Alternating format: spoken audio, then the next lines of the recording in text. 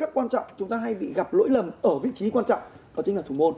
À, ở rất nhiều những giải đấu rồi và chúng ta còn nhớ cái đây hai năm thì ở trận à, đá với Thái Lan thì phía, Minh Long là người đã đã mang mang tới một cái cảm giác bất an đó và ngày hôm nay chúng ta không thể ngờ được người mang tới cho chúng ta lại là lại là Tiến Dũng. Nhưng thật sự mà nói chúng ta phải hiểu là khi mà thủ môn bị như vậy thì anh ta sẽ rất là bị căng cứng.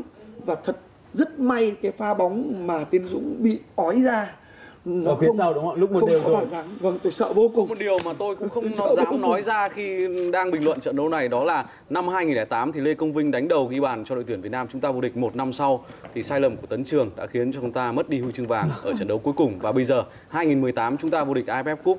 Và bây giờ một sai lầm của Tiến Dũng. Liệu có đánh mất đi cơ hội của chúng ta hay không? Mặc dù là tôi không dám nói điều đó khi bình luận trận đấu này. Thực sự là chúng ta có cùng cảm giác giống nhau. Thực sự là rất rất rất đau tim Văn Lâm à? Có phải Văn Lâm không à? Vâng vâng. Nếu như mà không có việc gì thì ờ, Lâm có thể đặt vé để sang ờ, Manila khẩn trương. Tôi đang rất cần người. nhưng chắc chắn là không thể bởi vì Văn Lâm là cầu thủ trên 22 tuổi